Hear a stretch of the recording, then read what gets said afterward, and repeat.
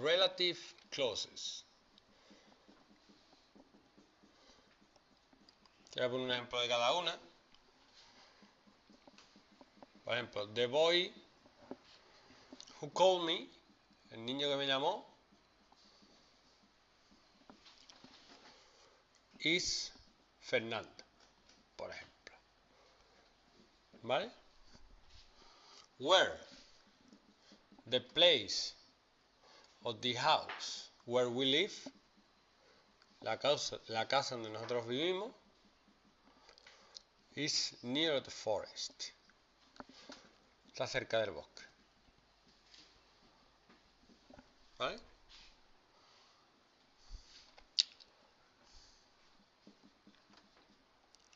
The books which we bought,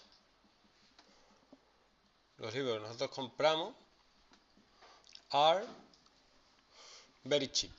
Son muy baratos. No, no estoy intentando no complicarme en la parte derecha, sino en la izquierda. ¿Vale?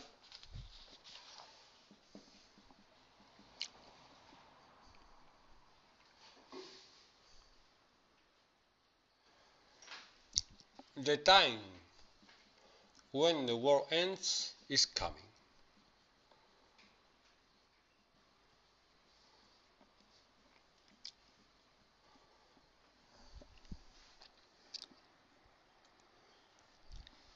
Una época, cuando el mundo termine, está cerca. Me tengo que subir encima de una caja y ponerme allí en medio. Eh, el mundo está terminando. Whose? The boy whose shirt is red is Fernando.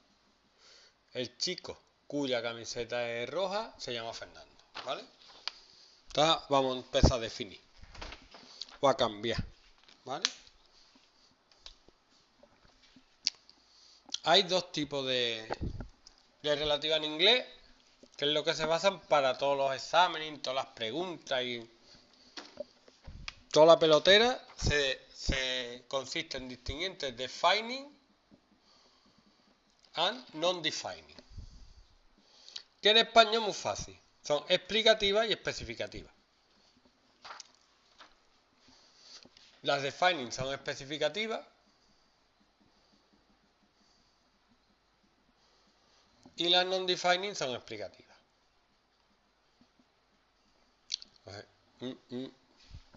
Un inciso en español que te sirve también para lengua.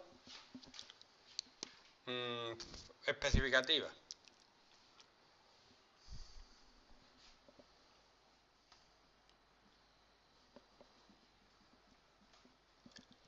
Los alumnos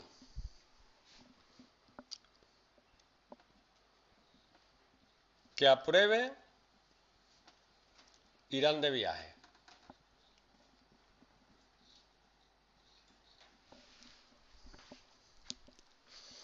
Aquí estoy especificando cuáles van de viaje, los que aprueban. Pero si yo digo los alumnos que aprueban irán de viaje, no estoy especificando, estoy diciendo que todos aprueban. Los alumnos que aprueban irán de viaje. Tengo una buena clase, como aprueban los alumnos, los voy a dejar a todos ir de viaje.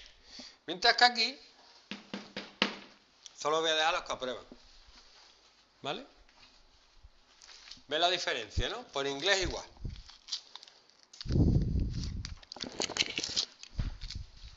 En las defining se distinguen entre si se habla del sujeto o del objeto.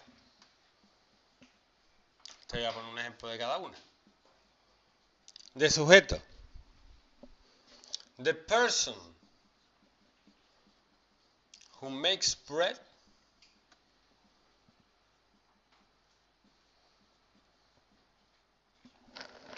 is called Baker.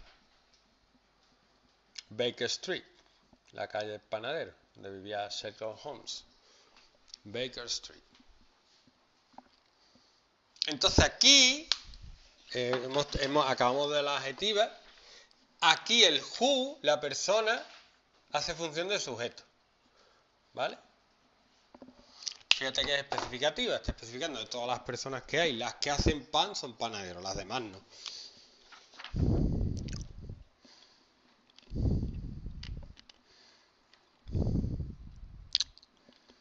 ¿Vale? Ponen aquí el ejemplo que yo pongo, lo que yo os digo que hagáis cuando tenéis una adjetiva. Pone aquí, the person sells vegetables.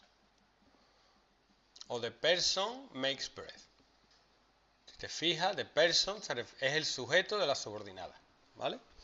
Sin embargo, a veces es objeto. The book. Pone aquí, the book.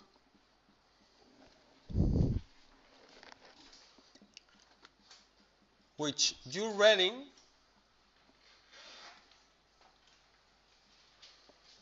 is um, lo pone aquí uh, is very interesting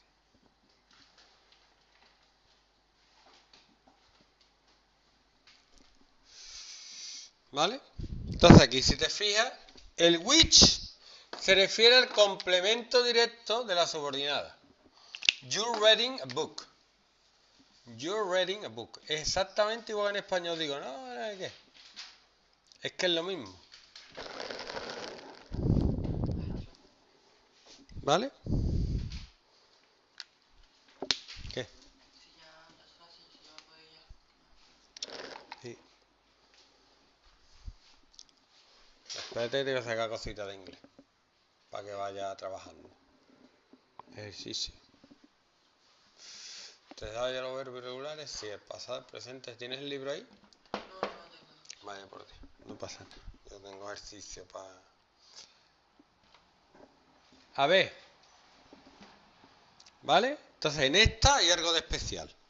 Que es que se puede omitir, es omisible el which. Sin embargo, aquí no. Cuando hace de sujeto, no omisible. Por eso te la distinguen. Cuando hace de objeto, sí omisible. De modo que yo puedo decir, the book you're reading, the place you're going. Y sigue teniendo el mismo sentido. ¿Vale? ¿Qué diferencia entre las defining, sujeto no se puede mm, omitir, objeto sí se puede omitir, y las defining? Que las defining tienen comas. ¿Vale? Por ejemplo, Shakespeare who died in 1616 wrote very famous plays. ¿Vale? ¿Ok? ¿Por qué es non-defining? Porque es un dato que se da de Shakespeare. No hay varios Shakespeare y uno es el que murió en 1616. Hay un Shakespeare y estoy dando una explicación sobre él. ¿Vale? My new book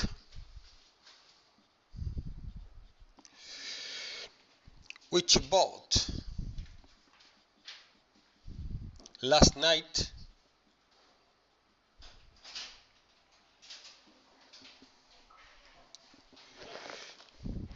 is fantastic. ¿Correcto?